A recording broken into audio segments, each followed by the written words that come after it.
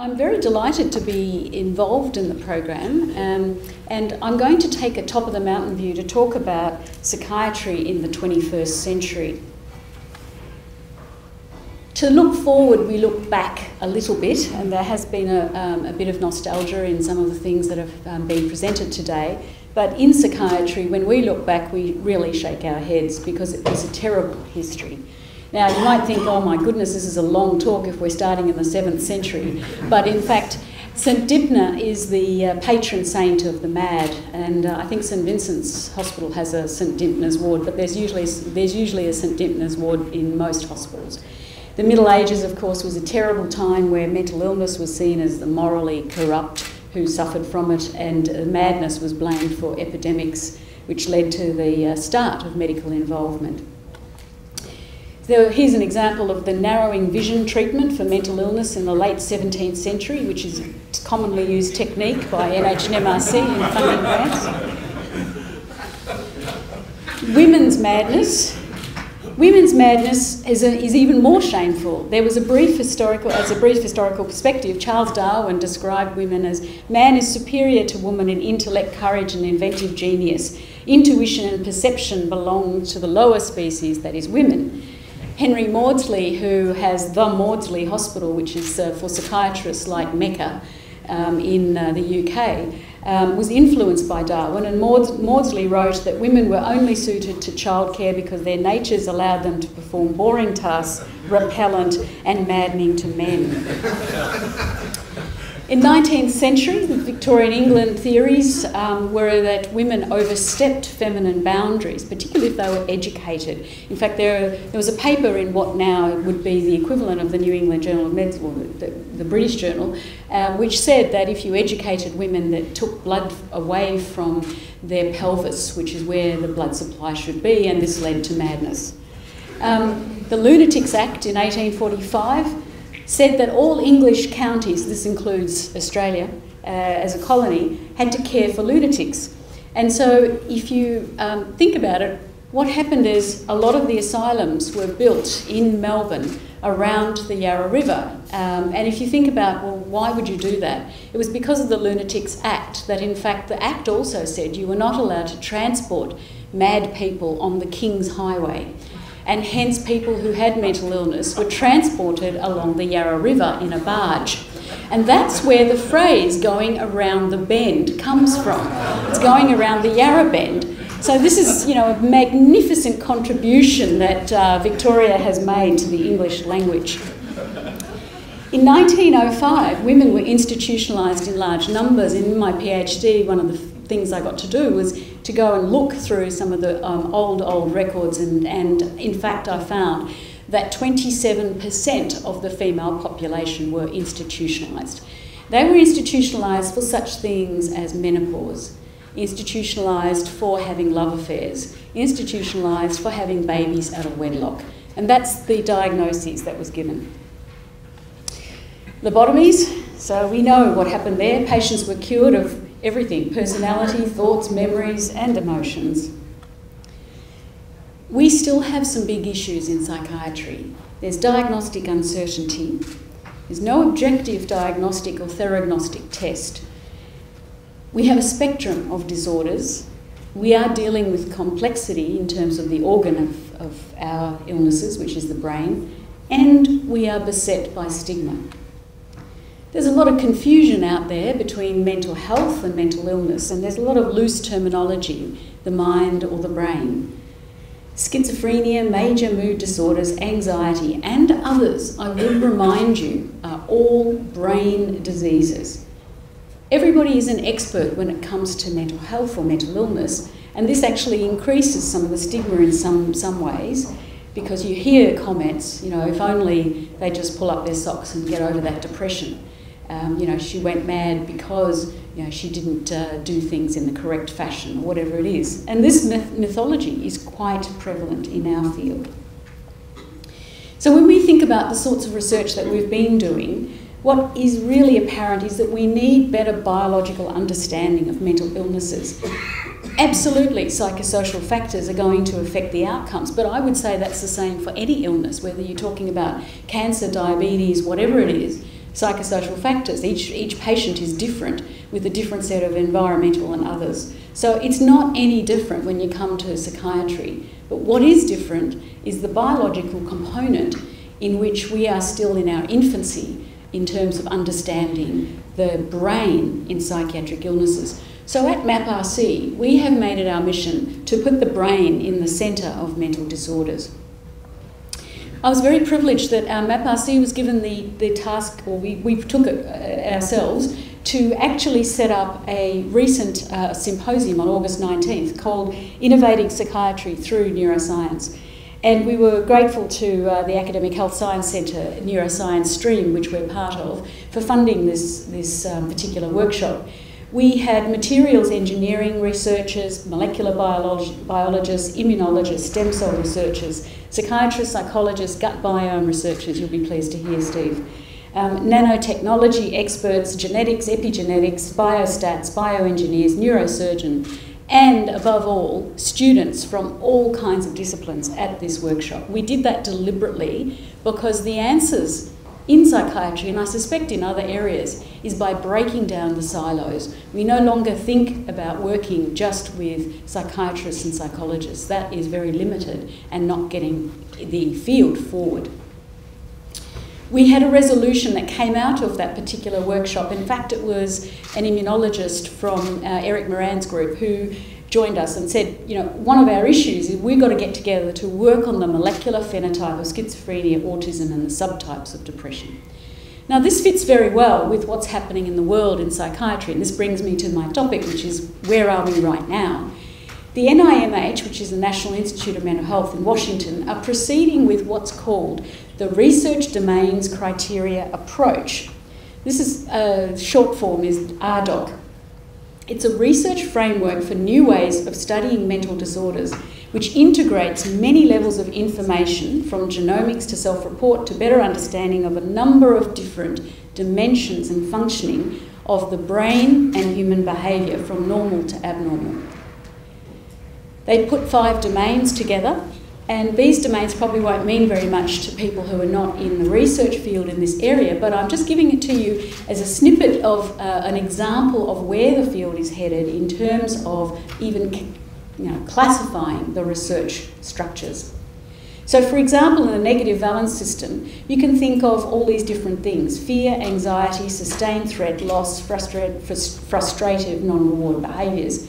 When you look at something like loss, so here we would think about our traditional diseases, depression.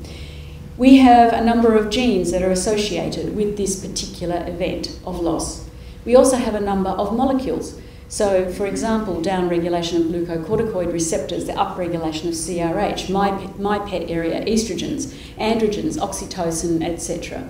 We have brain circuits that are involved with this and you can see a number of them, but particularly the dorsolateral prefrontal cortex uh, circuitry is very significant in a number of mental illnesses. We also have some physiology looking at the neuroimmune dysregulation. And then we have the behaviours, and there's a number of behaviours listed there. And then there are the self reports, as in what happens as a consequence of these behaviours. So, this is just an example of where our thinking and our research processes moved, move, are moving to fairly rapidly in the field. So, as you can see, in order to be undertaking psychiatric research in the 21st century and from here on end, we are expecting that our researchers, if not be experts in the genetics, molecular biology, the circuitry, and so on, at least have an, a capacity to speak the language that other people in these areas will be speaking to integrate these into our own frameworks. And, and I can go on and show you a whole bunch of these, but I, I won't. With this kind of framework and our own thinking here, right here in MAPRC, part of CCS, part of Monash and the Alfred, we have been implementing this in our own way, thinking about our work to extend our new into new diagnostic systems, new treatments, and new opportunities for prevention in mental illnesses. I was fortunate and I'm fortunate to work with biomedical engineers and have been doing so since 2004. And we won the New Inventors in 2010, an ABC program, for our invention, which, is which was using the vestibular system as a marker of the limbic system in particular, and then using this test as a, as a diagnostic test. Now, I'm delighted to report that um, there's a new company that has taken over the uh, capital um, venture aspect of this, and they expect to float this particular, uh, this particular test on the stock market in 2016. So, again, this is an interesting challenge that was thrown down to us about the diagnostics, and this is our approach using biomedical engineering expertise combined with psychiatrists. Not a usual combination but one that was fruitful and productive. Just to go through briefly some of the research that we have conducted and are conducting, and I don't have time to go through the 162 projects we have running at the moment, but schizophrenia research at MapRC follows this kind of mechanism, mechanistic approach, which is the implicated genes, the putative mechanism, the intermediate phenotypes, and the observable phenotypes. And so we know a lot about schizophrenia in terms of its severity of illness and the type of symptoms that are involved. We're using um, imaging systems that give us pretty pictures like this, the diffusion tensor imaging systems, to study some of the changes that happen in white matter. Um, here's a, an example of a DTI of a patient with schizophrenia versus a patient who's a, a, healthy subject, just to show you the difference in the sorts of circuitry connections that occur in schizophrenia. The neurophysiological work that is conducted, including eye movement abnormalities, pre-pulse inhibition, and there's a number of studies going on in these areas. As I say, I'm going to give you a head spin by going through a number of the projects, but I want you to get an idea of the targets and the sorts of research areas that we're involved in. New drugs, um, again, we're very uh, involved have been. We have our own setup of, of clinical drug trials, methodologies, phase three um, studies mainly, but we've also got into some phase two trials, and we are working with um, people in, in uh, Monash again to look at some of the earlier phase trials. But schizophrenia drugs have changed. You know, there was a concept that it was all dopamine, certainly not. Now we have a number of different uh, targets, including the NMDAR system. Um, the strategies that are there are to look at glycine, um, D-cycloserine, and so on, some, uh, some of the other um, metabolic indicators of the NMDAR system, and also our own work in looking at some of the glycine uh, metabolism um, drugs that are available even in health food stores. So we, we've got a wide range of drug uh, testing and clinical drug trials. We're working with pharma industry, but also working um, as investigator-led research in this area. We um, have been using neurohormone modulators for some time. My work's been looking at estradiol in schizophrenia, currently looking at selective estrogen receptor modulators in men and women with schizophrenia, looking at tamoxifen in bipolar disorder.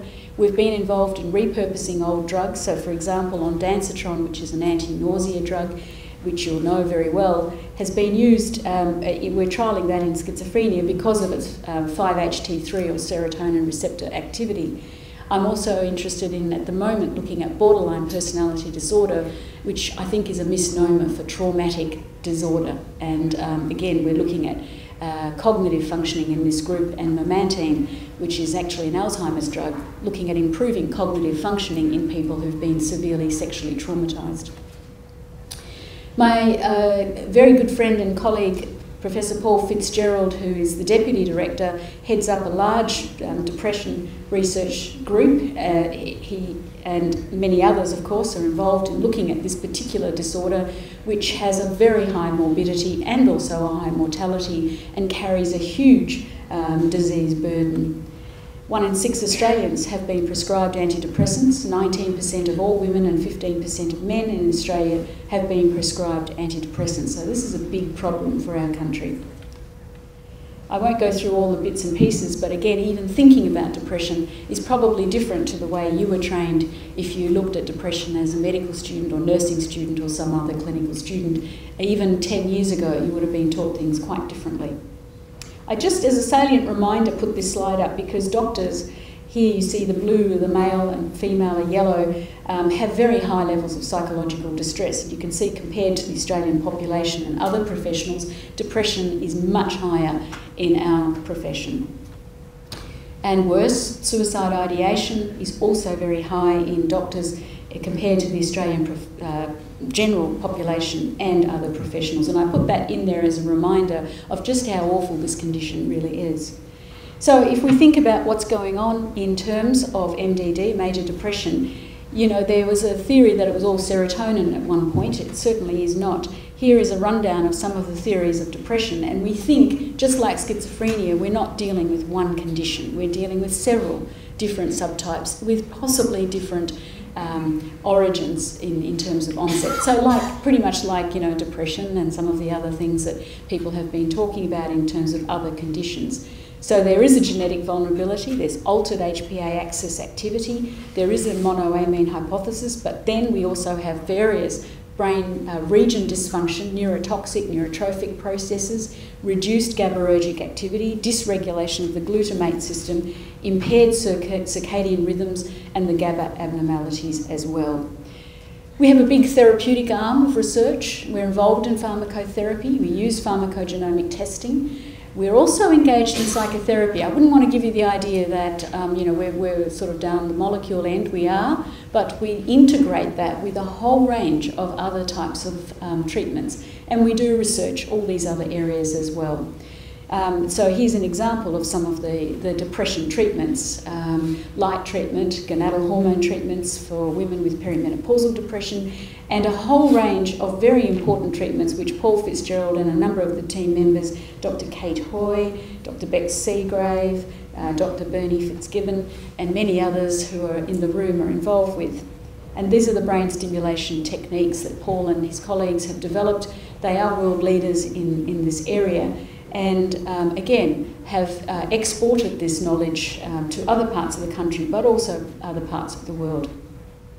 Transcranial magnetic stimulation, transcranial direct current stimulation, and that's a picture of Paul. Um, trans, uh, so for unipolar depression, for bipolar depression, for depression occurring after a head injury, TDCS, which again is an area that Dr. Beck Segrave has been uh, working in, for schizophrenia and schizoaffective disorders. And I don't want to give you the impression that we're just working in schizophrenia and depression. We certainly are in bipolar disorder, anxiety, eating disorders, complex trauma disorders, addictions, some dementia work, as a dementia work, and systems and services research as well as pedagogical research. There are 162 of us. Um, there are 63 people on premise, and the rest are affiliates. Um, and we need to be broad because mental health, psychiatry is a huge field. We touch base with neuroscience, we also touch base with religion, we touch base with philosophy.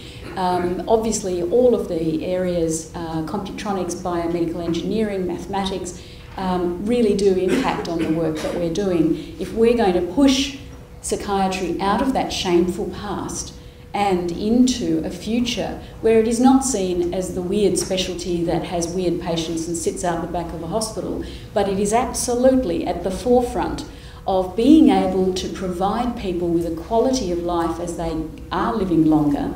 They need to live better, and to be struck down by a mental illness does rob people of a quality of life. So, our job is that we want to make sure that people understand that mental illness mental illnesses are brain disorders, and we are using technology to unlock the brain. Thank you for your attention.